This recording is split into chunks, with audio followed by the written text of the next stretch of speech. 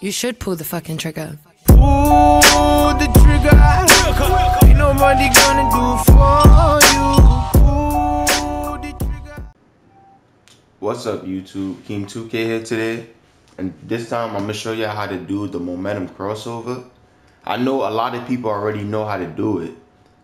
But this is for the majority of the people who's new to the game and don't know how to do it well or been trying to do it and they get like a messed up animation.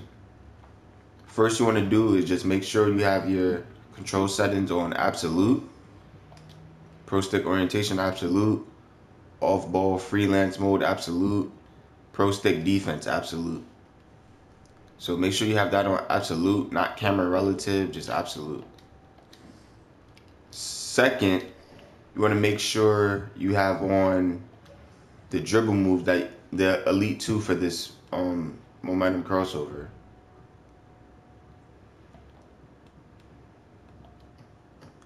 ISO crossover, you need elite two. So ISO crossover, you need elite two. This is to do the momentum crossover. So once you have ISO crossover elite two, you want to go in your practice gym or whatever. You see how I have the ball in my left hand? I want to flick it to the right like that. So once you do that, you see you see how I'm flicking the ball to the opposite hand? Now, I'm gonna show you how to do the momentum crossover. Since the ball is in your left hand, you wanna hold, you wanna like flick the ball to your right while holding R2. You should get an animation like this, for example. Hold on. Like that.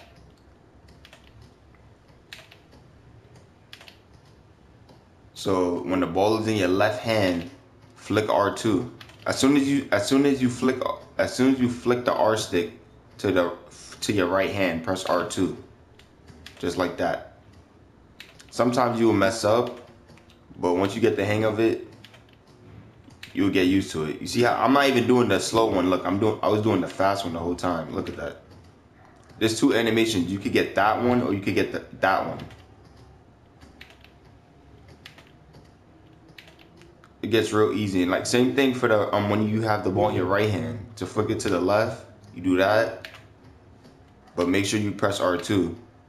So now I'm gonna press R2. See? That's all you gotta do.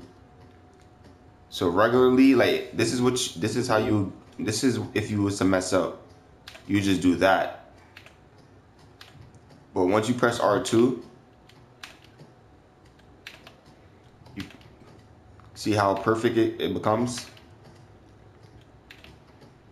Sometimes people mess up. Even I mess up. I'm not a, like a real pro at this compared to some people in the park, but I got better at it. But this is how you do the momentum crossover. You know, you could like do dribble moves into it. See, a lot of people like making their own like move on how to do the momentum crossover. You know, you just gotta like combo it, like momentum crossover into this. Like it's it's real easy, man. This is what everybody use in the park. So once again, just in case if if y'all wasn't if I wasn't clear on how to do it, you're gonna have the ball in your left hand, and then when you have the as soon as the ball, like as soon as your character puts like like dribble the ball touches the floor and is going into his right hand, press R two. So like that. That's how you do it. I'm not even doing the slow one. I'm doing the fast one. Now, now I'm doing the slow one. All right, that's the fast one. See how like, look how fast the character moves. Now this is the slow one. That's all you gotta do, man. It's real easy. If you found this um helpful, please leave a like, comment, and also, if you want me to do like any badge tutorials or anything, just let me know. Subscribe. Thanks for that 1K. Subscribe on YouTube.